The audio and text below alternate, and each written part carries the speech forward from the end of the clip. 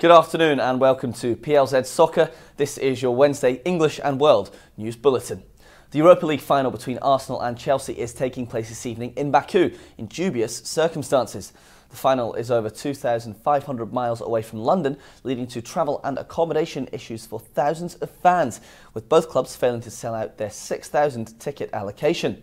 Arsenal's Armenian midfielder Henrik Mkhitaryan has not travelled due to fears over his safety because of a long-standing political disagreement between his country and Azerbaijan. The game itself is a must-win for the Gunners if they want to play Champions League football next season. And for Chelsea, it could be the last game for both manager Maurizio Sarri and star player Eden Hazard.